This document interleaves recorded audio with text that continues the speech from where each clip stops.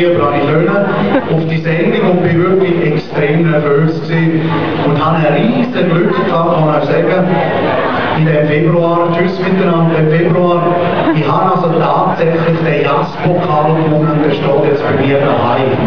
Und äh, dort in dieser Samstag-Sendung habe ich auch den Titel singen. Jetzt weiss ich, es ist halt immer noch früh am Nachmittag.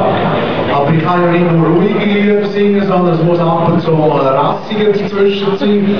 Und äh, fühlt euch einfach frei, laden euch herzlich dazu ein. Vielleicht beim Refrain ein bisschen mitsingen. Es muss nicht schön sein, es muss gut sein, ja, Kreuzlinge. Und vielleicht sogar ein bisschen mitklatschen.